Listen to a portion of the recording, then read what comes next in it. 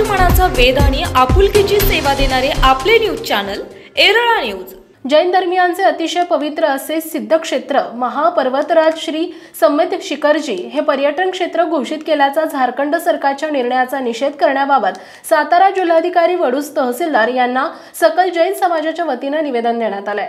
या निवेदनातील माहिती अशी की जैन धर्मियांचे चोवीस तीर्थकर भगवानांपैकी वीस तीर्थकर भगवान ज्या पवित्र भूमीत मोक्षाला गेले अशा झारखंड राज्यातील मधुबन येथील महापर्वतराज श्री सम्मेद शिखरजी क्षेत्र झारखंड सरकारनं पर्यटन क्षेत्र म्हणून घोषित केले या अनुषंगानं त्या ठिकाणी हॉटेल्स बार्स तसेच इतर अशा बऱ्याच गोष्टी सुरू होतील की ज्या जैन समाजाच्या अहिंसा तत्वाच्या एकदम विरुद्ध असणार आहेत.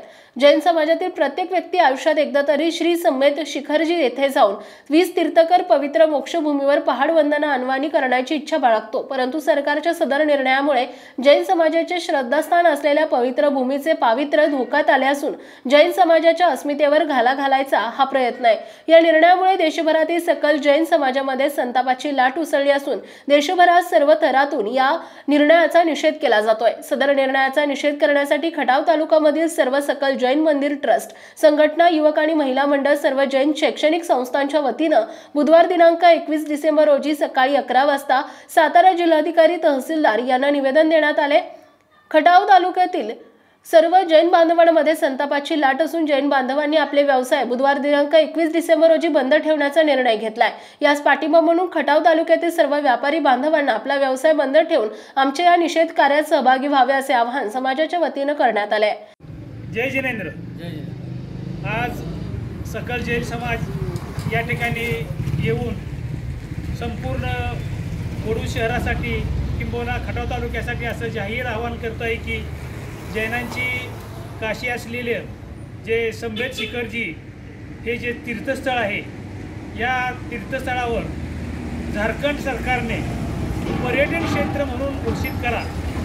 म्हणजे किंबहुना घोषित केलं आहे.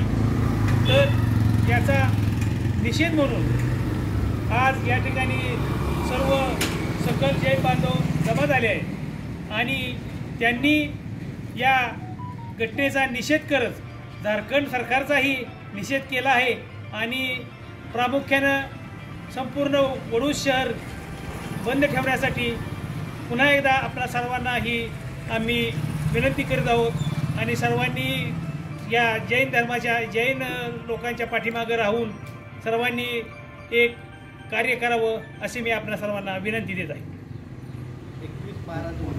उद्याचा दिवस आहे एकवीस बारा दोन हजार बावीस. एरळा न्यूजसाठी प्रतिनिधी सूरज भांडवलकर आणि शरद कदम वडूज. आपल्या भागातील महत्त्वाच्या बातम्या पाहण्यासाठी आजच आमच्या एरळा न्यूज चॅनलला यूट्यूबवर सबस्क्राईब करा आणि बेल आयकॉन प्रेस करा.